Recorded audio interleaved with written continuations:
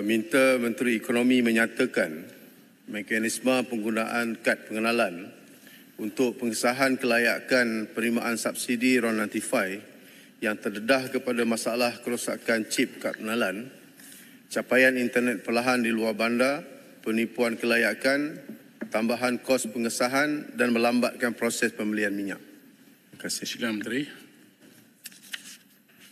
Assalamualaikum warahmatullahi wabarakatuh dan salam sejahtera. Tan Sri Yang di-Pertua Dewan, ahli-ahli Dewan yang dimuliakan sekalian. Untuk makluman ahli-ahli yang berhormat, kerajaan secara prinsipnya telah bersetuju untuk melaksanakan penyasaran subsidi RON 95 pada pertengahan tahun 2025 seperti yang telah dimaklumkan semasa ucapan belanjawan 2025 pada 18 Oktober yang lalu.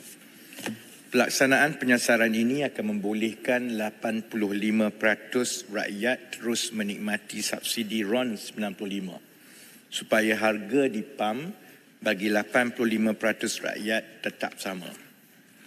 Ini bermakna stesen-stesen minyak akan mempunyai harga dua peringkat atau dengan izin two tier pricing iaitu harga bersubsidi yang kekal pada paras yang ditetapkan oleh kerajaan bagi 85% rakyat dan harga yang diapungkan bagi mereka dari 15% isi rumah tertinggi di negara ini. Ini akan melengkapkan usaha kerajaan untuk menyasarkan subsidi dari golongan yang tidak layak untuk mendapat subsidi RON 95 iaitu orang asing dan golongan 15% berpendapatan tertinggi kepada golongan yang memerlukan iaitu 85% rakyat yang lain. Pelaksanaan penyasaran subsidi ini melibatkan dua bahagian utama. Bahagian pertama iaitu penentuan golongan 85% yang layak berdasarkan kedudukan sosioekonomi isi rumah yang akan mengambil kira pendapatan bersih. Pendapatan bersih ialah pendapatan kasar ditolak bayaran wajib seperti cukai, caruman, zakat dan seumpamanya turut akan mengambil kira tanggungan dan juga kos sara hidup berdasarkan lokasi. Kementerian Ekonomi dan Jabatan Perangkaan Malaysia atau DOSM telah memperkenalkan perbelanjaan asas kehidupan wajar atau PEKW mengikut daerah di seluruh Malaysia sebagai nilai ambang perbelanjaan sesebuah keluarga mengikut jumlah tanggungan untuk menjalani kehidupan wajar. Nilai ambang perbelanjaan isi rumah ini mengambil kira perbelanjaan yang lebih besar selain daripada kos biasa seperti makanan, perumahan, tenaga dan sebagainya, kos-kos lain untuk sesebuah keluarga menikmati hidup bermaruah dan turut serta di dalam aktiviti-aktiviti kemasyarakatan juga diambil kira. Bahagian kedua pelaksanaan penyasaran subsidi ini melibatkan pelaksanaan penyasaran subsidi di stesen-stesen minyak. Ini melibatkan pengesahan kelayakan seseorang mengambil kira kedudukan sosioekonomi isi rumahnya seperti yang saya terangkan tadi menggunakan seterusnya beberapa kaedah yang sedang dipertimbangkan contohnya kad pengenalan dan juga e-dompet dengan izin e-wallet. Secara umumnya bahagian pertama iaitu penentuan kelayakan dibangunkan oleh Kementerian Ekonomi dan bahagian kedua iaitu pelaksanaan mekanisme pembelian RON 95 menggunakan harga dua peringkat di sesen minyak akan dibangunkan oleh Kementerian Kewangan. Pada tempoh ini, Kementerian Ekonomi dan Kementerian Kewangan sedang meneliti dan memperhalusi mekanisme terperinci pelaksanaan subsidi RON 95 menggunakan prinsip-prinsip yang dihuraikan tadi. Kriteria dan mekanisme akhir akan dibentangkan kepada jemaah menteri selaras dengan garis masa pelaksanaan iaitu menjelang pertengahan tahun 2025. Dalam hubungan ini, kerajaan iaitu Kementerian Ekonomi dan sudah pasti Kementerian Kewangan yang akan menumpukan kepada usaha untuk melaksanakan mekanisme di stesen minyak Mengambil maklum pelbagai cabaran yang bakal dihadapi seperti mekanisme kad kenalan untuk mengesahkan kelayakan. Cabaran-cabaran yang disebut oleh Pulai tadi seperti isu infrastruktur, capaian internet, sama ada chip card itu semuanya berjalan dengan baik.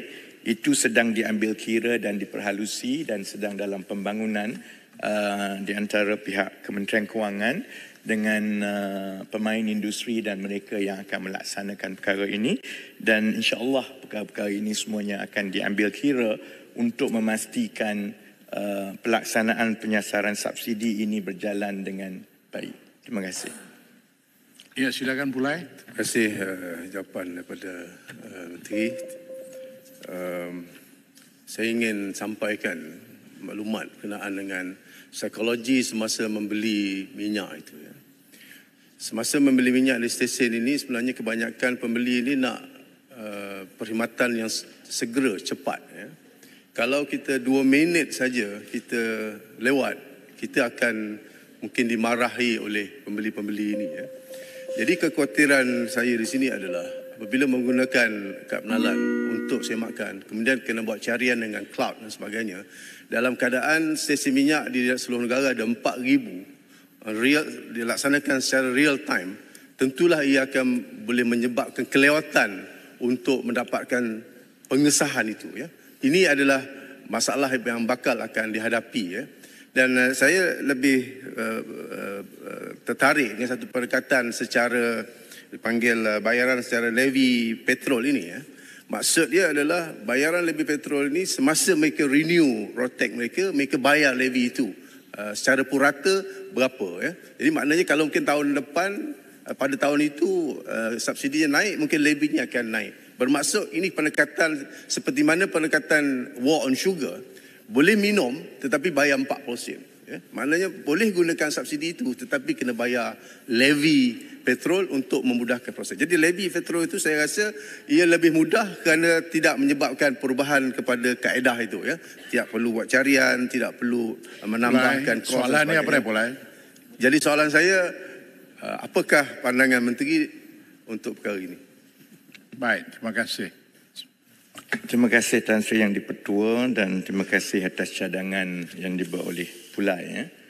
Um, dalam kita uh, meneliti cadangan-cadangan terbaik untuk melaksanakan ini, ada beberapa perkara yang kita perlu ambil pertimbangan uh, yang paling penting. Pertama, pertimbangan yang sering uh, diberi perhatian ialah soal kesannya kepada kenaikan harga barang. Saya dah bentangkan semasa penggulungan tempoh hari minggu lepas bahawa dalam keadaan sekarang yang kita sama-sama sedang menangani kos sara hidup, perkara yang kita perlu elakkan ialah melonjaknya inflasi. Kerana kita telah tengok pelaksanaan GST dan juga pengapungan harga minyak bermula tahun 2015 itu telah menyebabkan antara tahun 2015 hingga 2018 kenaikan harga makanan dan inflasi antara 3 ke 7 peratus uh, secara berterusan. Kita juga mewarisi kenaikan inflasi yang mendadak semasa tahun 2021 ke 2022. Dan Dewan sedia maklum bahawa apabila inflasi itu naik, dia harga barang itu kekal di situ. Dan satu-satunya cara untuk kita menangani kos sara hidup ini ialah dengan memastikan kenaikan gaji itu lebih cepat daripada kenaikan inflasi. Semasa kerajaan membincangkan dalam tempoh 20 bulan yang lepas, semua perkara ini telah diperhalusi. Pertama, kaedah memberi bayaran tunai, iaitu harga dinaikkan tetapi dipulangkan balik dalam bentuk bantuan bulanan. Pertama. Kedua, seperti yang telah diputuskan oleh kerajaan menggunakan um, kaedah harga dua peringkat yang melibatkan stesen minyak. Ketiga, sama ada boleh digunakan seperti yang disebut oleh pulai ataupun sebelum ini air hitam iaitu mengenakan levy mengikut pemilikan kenderaan. Saya ulas mengenai um, bayaran tunai. Secara umumnya, ahli ekonomi rata-rata mengatakan bahawa uh, mengadakan bayaran tunai itu lebih baik kerana dia tidak melibatkan operasi di stesen minyak. Sebarang operasi di stesen minyak akan menyebabkan uh, masalah operasi seperti yang Pulai sebut iaitu untuk memastikan kelancaran pembelian minyak itu. Tetapi bila kerajaan melihatkan risiko kenaikan harga barang kerana kita sedia maklum kalau naik saja harga minyak itu akan menyebabkan inflasi itu walaupun tidak terkesan kepada uh, peniaga tertentu itu akan jadi alasan.